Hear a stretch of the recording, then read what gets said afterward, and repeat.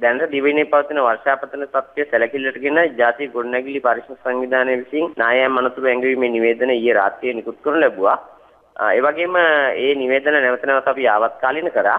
ඒ අතර අලුතර දිස්ත්‍රික්කයේ ඒ වගේම කෑගල්ල දිස්ත්‍රික්කයේ සහ ගාල්ල සහ රත්නපුර අතර යන දිස්ත්‍රික්ක සඳහා අනතුරු ඇඟවීමේ නිවේදන නිකුත් කරන ලැබුවා. ප්‍රධාන වශයෙන්ම මේ යටතේ කළුතර දිස්ත්‍රික්කයේ අගලවත්ත බුලත්සිංහල වලල්ලාවිට හා මතුගම ප්‍රාදේශීය කම්බල ප්‍රදේශත් ඒ වගේම ගාල්ල දිස්ත්‍රික්කයේ ඇල්පිටිය නියාගම නාගොඩ ඉමදුව සහ බද්දේගම ප්‍රාදේශීය කම් කොටස් සඳහා රතු නිවේදනය අපි නිකුත් කරන ලැබුවා. විශේෂයෙන්ම ඊයේ සවස වන විට අපිට ගාල්ල සහ මාතර දිස්ත්‍රික්ක වලින් කණ්ඩි කඩා වැටීම් සිද්ධි කීපයක් වාර්තා වුණා. ඒ සමගම ගාල්ල දිස්ත්‍රික්කයේ මරණයක් වාර්තා වුණා. ඒ නිසා විශේෂයෙන් අපි මේ ජනතාවගෙන් ඉල්ලා සිටිනවා ගොඩනැගිලි පරිශ්‍රම සංවිධානය නිකුත් කරන නිවේදන වලට සවන් දී ඒ අනුව ක්‍රියාත්මක වෙන ලෙසත් ඒ වගේම තමන්ගේ නිවාස පිටුපස අස්ථාවර කණ්ඩි පිහිටා තියෙනවා නම් ඒ කණ්ඩි ආශ්‍රිත ප්‍රදේශ භාවිතය අවම කරන ලෙසත් ඒ වගේම එම කණ්ඩි ආශ්‍රිත ප්‍රදේශවල පිහිටි කාමරවල නිදා ගැනීම අවම කරන ලෙසත් කාර්මිකව දැනුම් දෙනවා.